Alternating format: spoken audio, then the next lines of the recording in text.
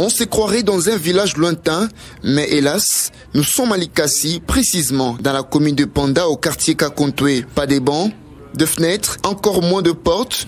À l'occasion, faisant les larrons, la directrice de l'EP Faïda en profite pour lancer un cri d'alarme. Oui, école EPD Faïda. Dans cette école EP Faïda, nous avons beaucoup de peines. Premièrement, les bâtiments. Pas de portes.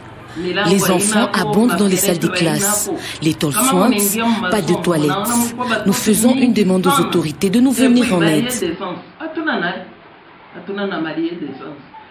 L'école primaire Faïda 2 régorge six salles de classe en raison d'un local par classe. L'éducation est l'avenir d'un pays, dit-on.